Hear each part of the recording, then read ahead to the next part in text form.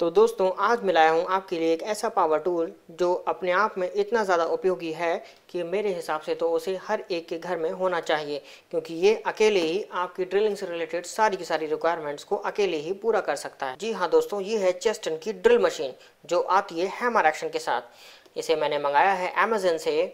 तो चलिए दोस्तों, देर न करते हुए इसको ओपन करके देखते हैं, इसमें साथ साथ क्या क्या आता है और ये मशीन क्या क्या कर सकती है।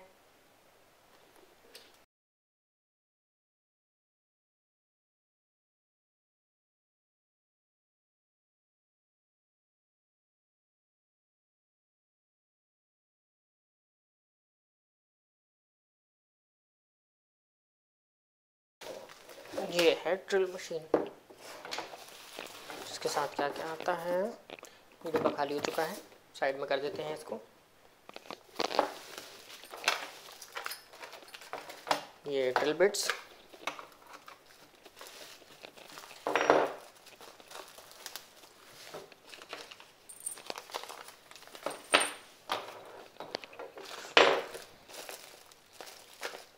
तो ये आते हैं इसके साथ एक्स्ट्रा ब्रशेज़ ये की चक को ओपन या क्लोज करने के लिए दो स्क्रू ड्राइवर बिट्स।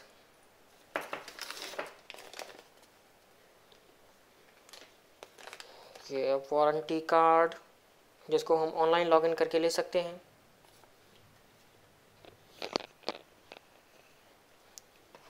ये दो तरह के ड्रिल बिट दिए हुए हैं। ये high speed steel drill bits हैं, जो कि मेटल और वुड में वर्क करेंगे। ये मैसोनरी ड्रिल बिट हैं, जो कि कंक्रीट और स्टोन या दीवारों पर यूज़ करने के लिए कर सकते हैं हम।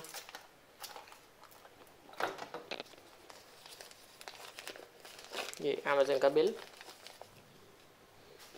ये हैंडल दीवार में होल जब करेंगे तो उसको पकड़ने के लिए।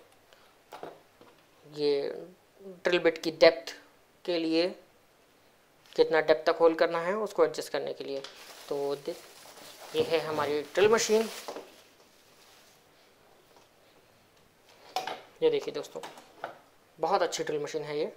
ये बटन जो है, ये आप देख रहे हैं, ये हैमर एक्शन के लिए है। इसको आप एडजस्ट कर सकते हैं। ये reverse forward reverse forward function है इसमें, और हम इसमें इसमें स्पीड भी एडजस्ट कर सकते हैं। इसके स्विच को दबा करके भी और यहाँ से इस नॉब को घुमा करके भी। यहाँ माइनस ऐसे घुमाते जाएँगे तो स्पीड कम होती जाएगी, ऐसे करते जाएँगे तो स्पीड बढ़ती जाएगी। ये देखिए। यहाँ क्लॉकवाइज घुमाने पर स्पीड बढ़ेगी और एंटी क्लॉकवाइज घुमाने पर स्पीड घटेगी। देखिए दोस्तों, ये हैंडल यहाँ यूज़ होता है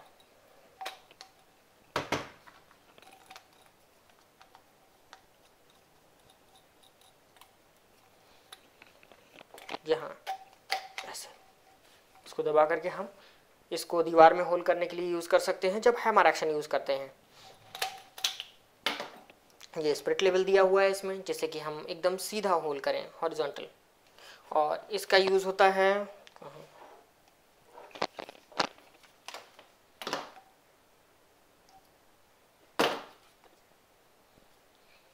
इसका यूज़ यहाँ ड्रिल बिट से मेजर करने के लिए करते हैं। तो एक बार स्टार्ट करके देख लेते हैं दोस्तों इसको।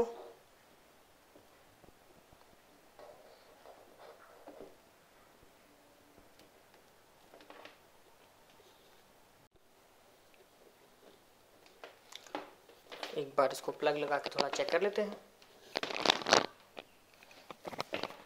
ये देखिए दोस्तों, मैं इसको स्टार्ट करता हूँ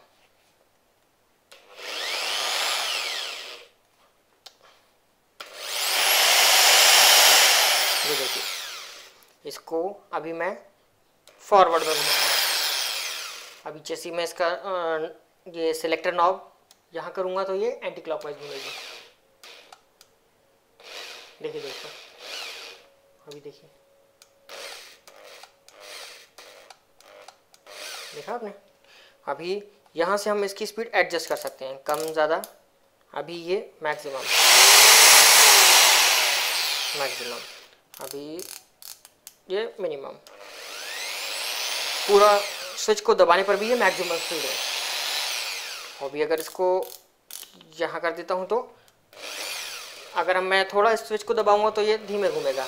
और पूरा फुल दबा दूँगा तो ये फुल स्पीड पे आ जाएगा। जितना ज़्यादा दबाऊँगा, उतना ज़्यादा इसका स्पीड तेज़ होता जाएगा। और कंटिन्यूस वर्क करने के लिए इसको हम यहाँ दबा सकते हैं। देखिए।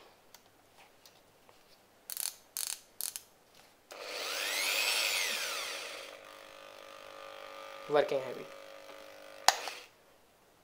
तो देखा दोस्तों आपने इसके फ़ंक्शंस और हैमर एक्शन तभी काम करता है जब हम इसको प्रेशर लगा के जब कंक्रीट में होल करते हैं, इसको प्रेशर देते हैं, तब हैमर एक्शन वर्क करता है। देखिए, अभी कोई वर्क नहीं करेगा।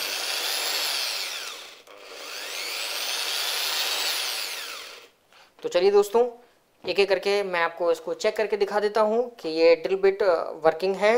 या फिर सिर्फ़ शो पीस के लिए कंपनी ने प्रोवाइड कर रखे हैं। दोनों को मैं आपको चेक करा देता हूँ। तो चलिए दोस्तों, मैं अपनी वर्कशॉप में आपको लेकर चलता हूँ। तो दोस्तों, हम आ चुके हैं अपनी वर्कशॉप में, जो कि है ओपन टू एयर यहाँ मैं आपको चला के दिखाऊँगा इस ड्रिल मशीन को। सबसे पहले इस वुडन पीस पर, फिर इस एम एल माइल्ड स्टील के पीस पर। तो यहाँ हमारे पास है दो तरह के ड्रिल बिट्स जो एम एस पर वर्क करते हैं और मैसनरी में वर्क करते हैं।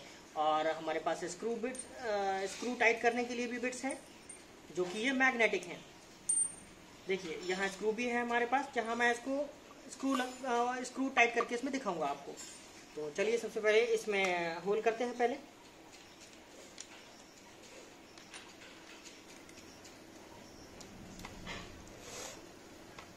ये मैंने लगा दिया है इसमें, और देखिए। इसमें स्क्रू मैग्नेट मैग्नेट होने के कारण ये यहीं चिपक गया। अभी देखिए। ये देखिए।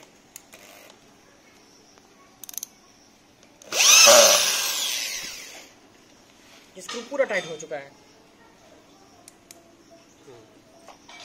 ये देखिए दोस्तों, मैं फिर से आपको दिखाता हूँ।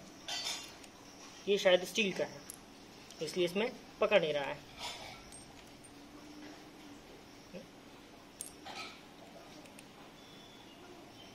ये स्टील के स्क्रू मैग्नेट से नहीं चिपकते हैं।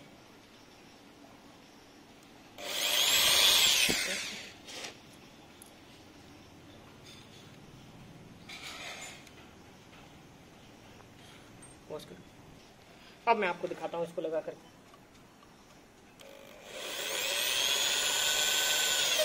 ये देखिए दोस्तों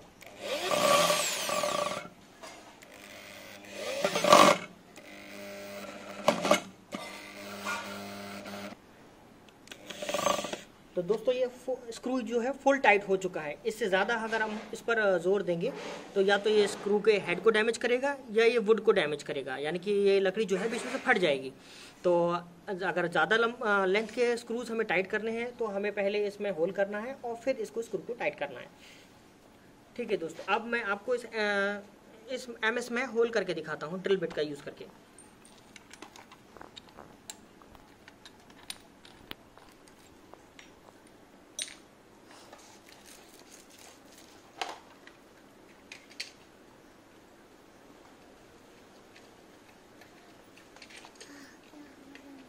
एक मीडियम साइज़ का ड्रिल बिट ले लेते हैं।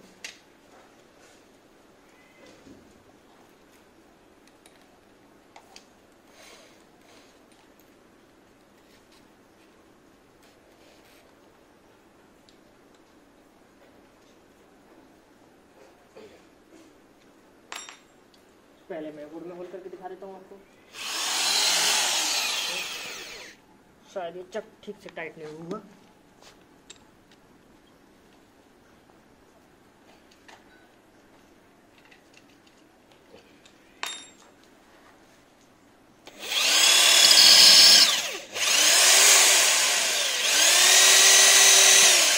देखो दोस्तों, आपने कितनी आसानी से इसने लकड़ी में होल कर दिया।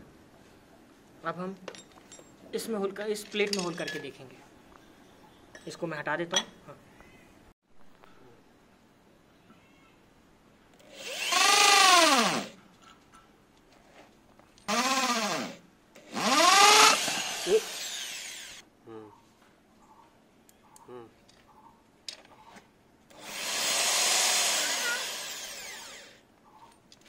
देखिए दोस्तों, अभी तक इसमें होल भी नहीं हुआ है और ये ड्रिल बिट यहाँ से घिस चुका है।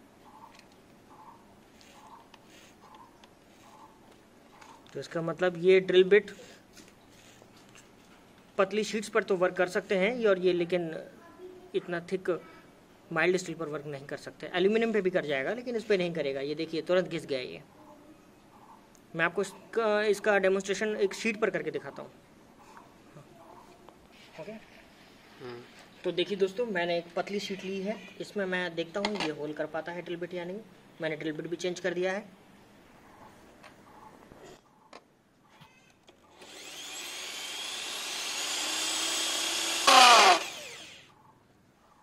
ज़्यादा ज़ोर लगाने से इसका हैमर एक्शन काम कर रहा है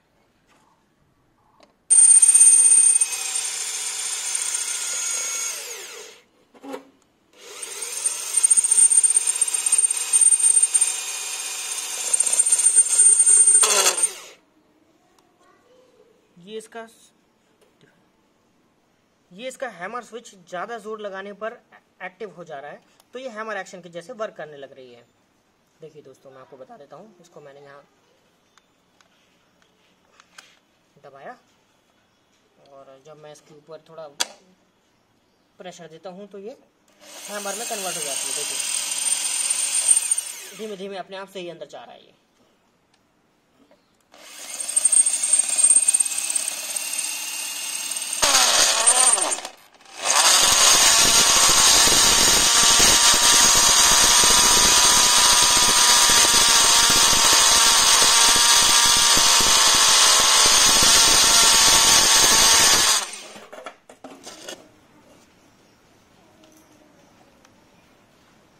ये देखिए दोस्तों इसका ड्रिल बिट ही ख़त्म हो गया।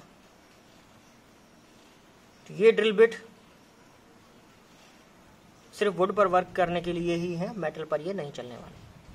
अब मैं आपको इसके मैसनरी ड्रिल बिट एक बार चेक करके दिखा देता हूँ। थोड़ी दूसरी इसको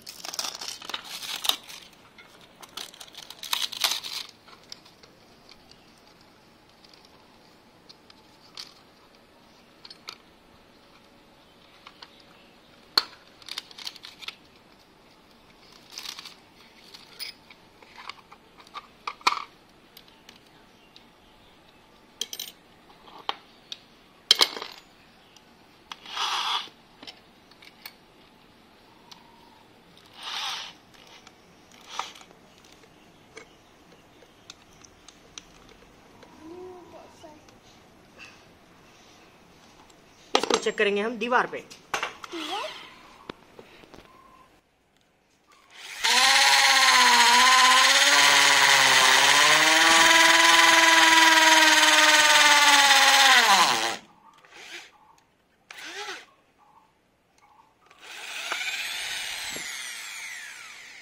तो देखिए दोस्तों, इसने दीवार में होल कर दिया। तो इसका मतलब ये है, ये मैसनरी ड्रिड ब्लेड तो बहुत ही अच्छे हैं। बिल्कुल। अच्छे से वर्क कर रहा है ये। और दिखाता हूँ, थोड़ा दूर को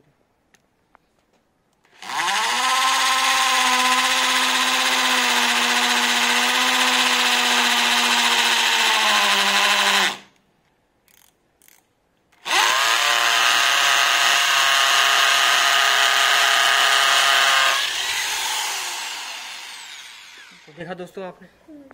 कंक्रीट के लिए एकदम बेस्ट है ये। और वुड के लिए भी। हाँ अगर ड्रिल बिट आप अपने अच्छे कंपनी के यूज़ करते हैं तो ये वो भी अच्छे से वर्क करेंगे इस पर। तो मेरे लिए, इसके लिए मशीन के लिए है।